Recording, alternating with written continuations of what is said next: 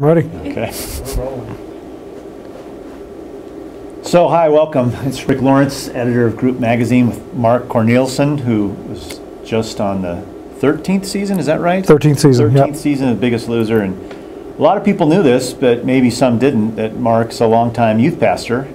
And um, uh, for those of you who've watched this show, uh, you, you know this was kind of an unusual year for the show. A lot of uh, pretty unprecedented things happened this year, and Mark was right, sort of in the fulcrum of all that stuff happening. And and uh, and Mark, how many how many how, how much weight did you lose by the end of the whole deal? By the by the finale, uh, 101 pounds. 101 So I've pounds. lost. Yeah. Yeah, looks fabulous, doesn't he? yeah. But we're, we're going to talk today a little bit about um, about youth ministry as it connects into health, fitness, weight, not just the physical aspect of that, but um, one of the things we've noticed, and I've said this to Mark, uh, is uh, at our national conference, for instance, um, we've all of our team has noticed that there is a problem with fitness in youth ministry. There's a problem with obesity in youth ministry that goes way beyond the national average. And we've been talking about this for a year or two now, trying to figure out ways to address this.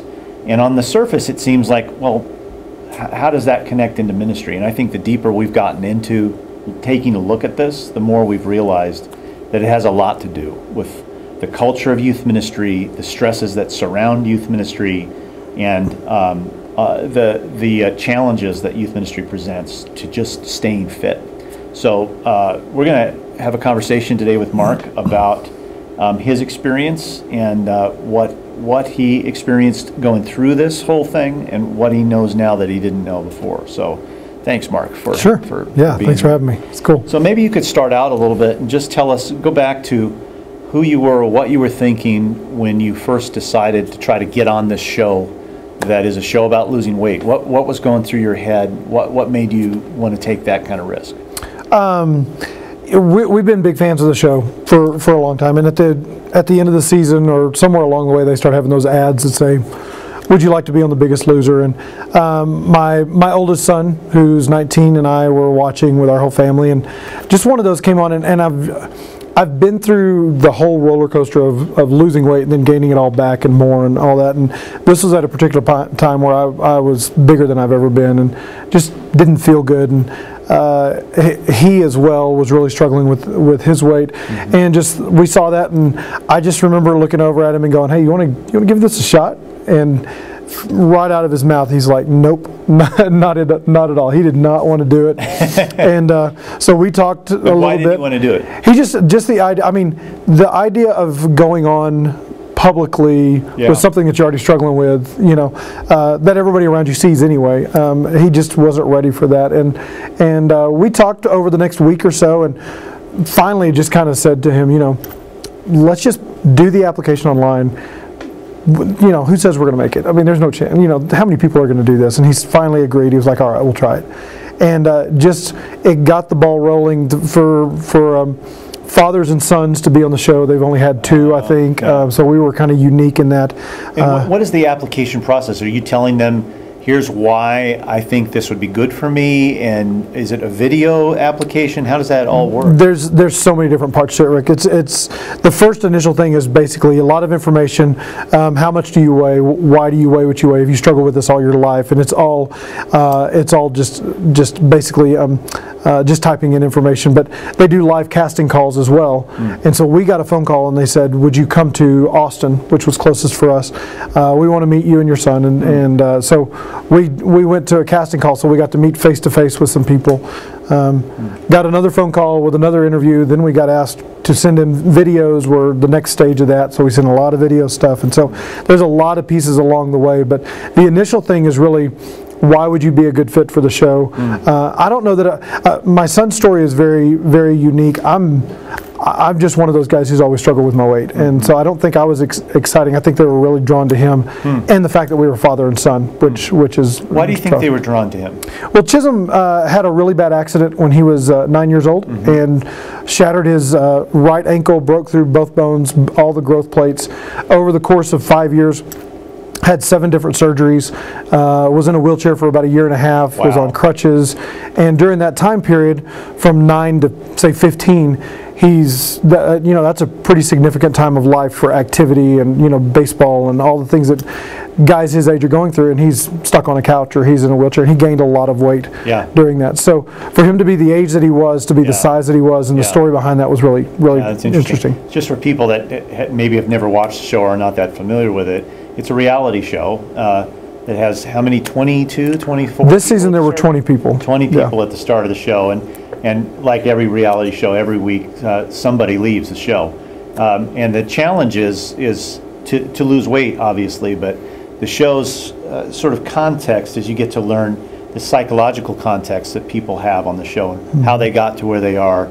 There's a lot of stress because these folks are away from home with no contact, no communication for months as they're uh, involved in this, and there's stresses that come up between people on the show. A lot of stuff gets squeezed out of people, I would say, uh, on this on this show. It's a pretty high stress environment, and there's a big prize at the end.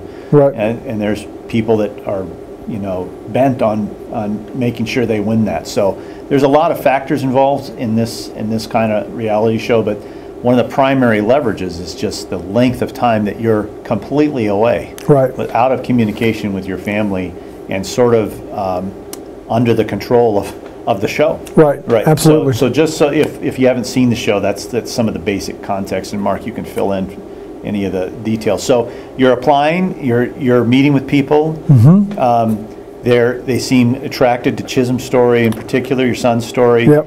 And then you get a call. What that says you're. Yeah, finally we get near the end and they they uh, give us a call and say we want you to come to California. Uh, and there were a certain number of people I don't even know what the total number ended up being that they brought for about a two week time period where they did medical testing and all kinds of tests on us and, and just Two weeks. for two weeks. Wow. Uh, and we're in a hotel and out of that. The people that they brought, that's who they decide is going to is going to be on the show. And so, at the end of that time, about two weeks in, they pull a big group of us into a room and they say, "Congratulations, you're Wow. going to be on the show." It's And so, So, uh, what were your what were yours and Chism's feelings at that moment? Now, that, this long journey, now you're actually going to be on the thing. Yeah. Did it kind of? yeah, Chism Chism was excited. From I mean, he he never he never paused. Uh, I remember when they said you're you're on the show, and everybody in the room just erupts. I mean, they're all excited, and Chism and I are hugging each other, and I'm, and I'm like, we just made it on this show. Yeah. And then, literally the next second, Rick, I was like. Uh oh. I just made it on the show. I mean, it was this moment of what did I just do, you know? Um, and and my wife and I, my, my other kids, were incredibly close. And I think in that moment, suddenly I, it dawned on me, Yeah. I'm fixing to be really away from. I mean, this is this is really going to be uh, a challenge. So it was it was really interesting because I'll, I'll never forget the joy and then Yeah. instant. Oh, what did I? what have I done to Yeah, I totally get that. So, when you think back to what you said to the producers and to all of them, so you were you were being forced to really assess yourself Mm-hmm. and kind of sum up um, how you got to where you were. So, Right. what what were you telling them back then? for for me, there were a couple of different things. Uh, one, my main thing was time.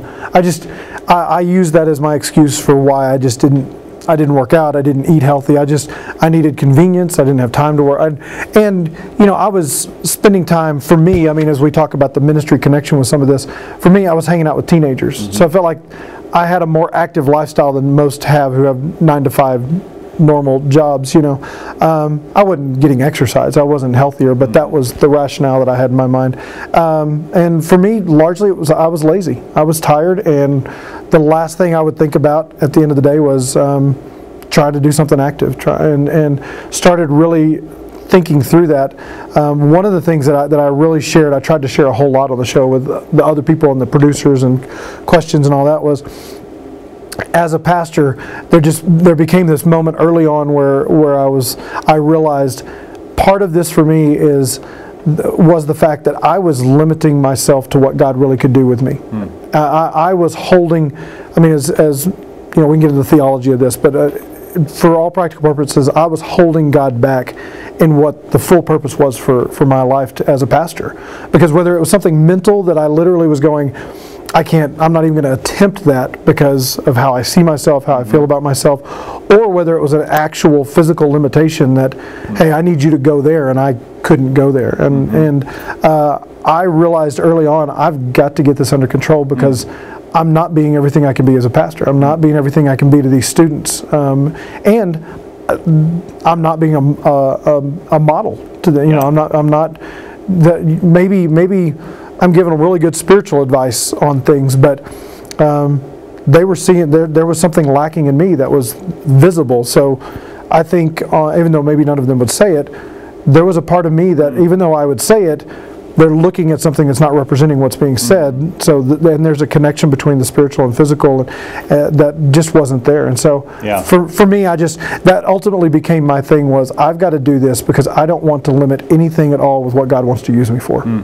Now that, I, I bet a lot of people, even watching this, a lot of youth pastors who are either watching this or reading this interview right now, they've had some similar thoughts. I, I, I know I'm not doing everything I should be. I'm kind of not living congruently right now because, you know, kids, everyone around me can see that there's an area of my life that, that is really not in control or uh, I'm, I'm not healthy in that area of life. So it's obvious to people.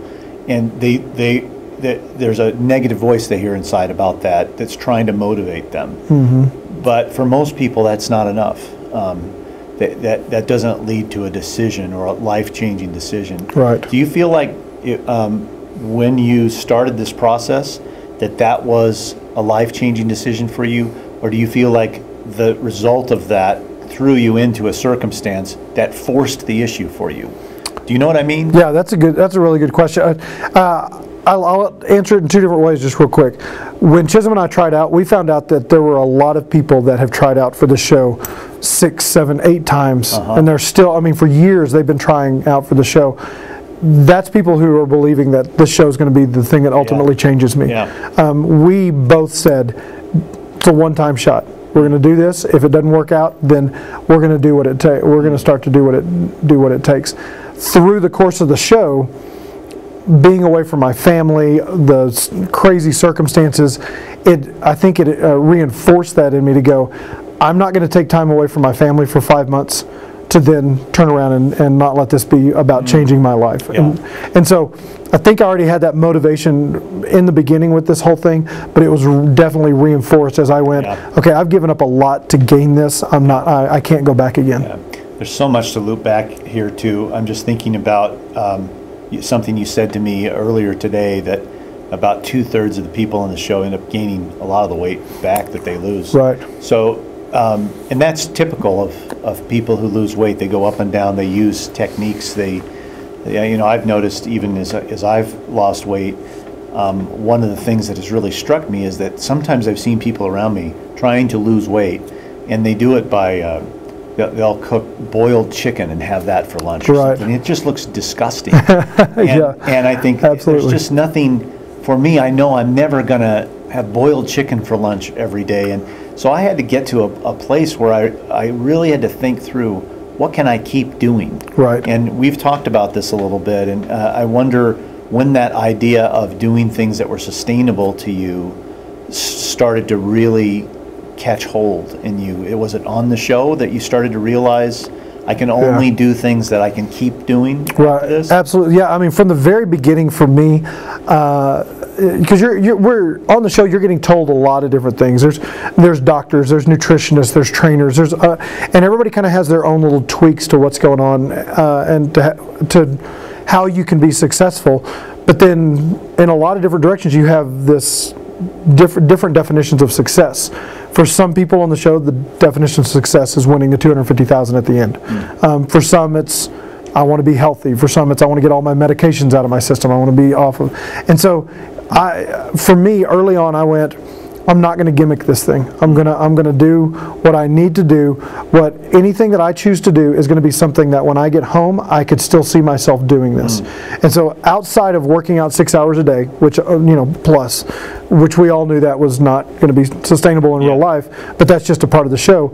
Um, I didn't play with my food. I ate calories that were healthy calories that um, that is still about where I am now being home because I was like I want something that's transferable. Yeah. So that because we had heard a lot that there were a lot of people that they get home and the shock of being off the show is Yeah. what really really messes things And, up. and you have kind of, uh, I think this is typical for a lot of people, um, especially in youth ministry, surrounded by the kinds of foods you are Right. in youth ministry.